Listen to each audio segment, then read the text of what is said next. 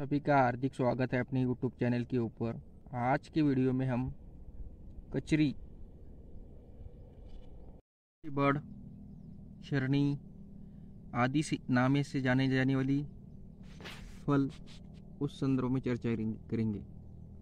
ये देखिए, ये इसकी बेल रहती है। इसको ये पीले कलर के फूल आते हैं। और ये फल पत्ता इसका इस प्रकार रहता है। और ये बेल बहुत तेज़ी से बढ़ता है। जहाँ पे ज़मीन में कैल्शियम भरपूर मात्रा में अवेलेबल है, वहाँ पे ये पौधा तेज़ी से ग्रोथ करता है। और ये फल परिपक्व होने के बाद इसकी सब्ज़ी बनाई जाती है। वो सब्ज़ी, पेट और जो मधुमेह से पीड़ित लोग हैं, उनके लिए लाभकारी ये सब्ज़ी होती है।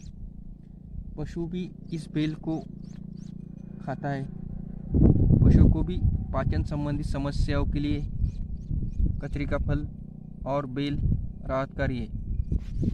भारतवर्ष में सभी जगह पे पाए जाने वाला फल है इसका फल और फूल इन पत्तों से आप पहचान कर सकते हैं, कचरी का फल।